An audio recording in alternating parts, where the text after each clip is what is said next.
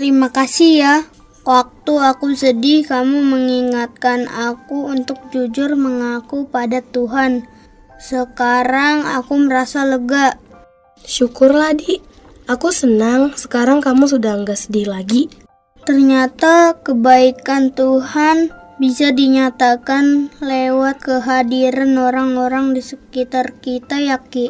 Benar Di, keluarga, sahabat, atau guru juga bisa menjadi cara Tuhan mengasihi kita. Kamu sadar nggak Ki? Tuhan sudah menghibur aku lewat kamu loh. Jangan sedih terus-terusan ya Di. Tuhan itu sangat menyayangi kita dalam situasi apa pun.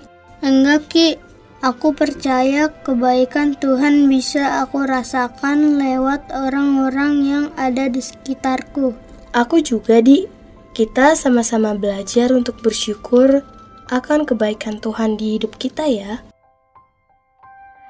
Adik-adik, mari kita membaca kitab Ratapan 3 ayat 21 sampai 26. Tetapi hal-hal inilah yang kuperhatikan, oleh sebab itu aku akan berharap Tak berkesudahan kasih setia Tuhan, tak habis-habisnya rahmatnya selalu baru tiap pagi. Besar kesetiaanmu. Tuhan adalah bagianku kata jiwaku, oleh sebab itu aku berharap kepadanya. Tuhan adalah baik bagi orang yang berharap kepadanya, bagi jiwa yang mencari dia. Adalah baik menanti dengan diam pertolongan Tuhan.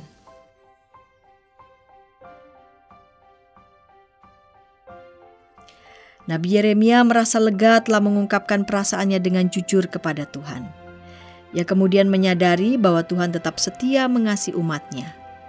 Ia menghayati bahwa kasih setia Tuhan tidak pernah berkesudahan dalam hidupnya. Meskipun pada waktu itu ia harus menjadi saksi kehancuran Yerusalem. Adik-adik, kita pasti pernah mengalami kesulitan dalam hidup. Ketika mengalaminya, bisa saja kita merasa keadaan kita tidak baik. Kita merasa sedih, namun jangan larut dalam kesedihan terus-menerus. Lihatlah kebaikan Tuhan yang selalu hadir bagi kita. Kebaikan Tuhan melalui orang-orang yang ada di sekitar kita. Mari berdoa. Bapa di surga terima kasih untuk kebaikanmu yang selalu aku rasakan dalam setiap pengalaman hidupku.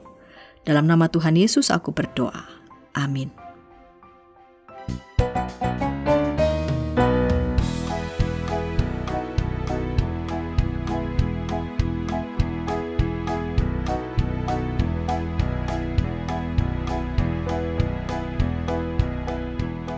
Sahabat, mari dukung pelayanan dan pekabaran Injil melalui YKB dengan membagikan link acara ini kepada sebanyak mungkin orang.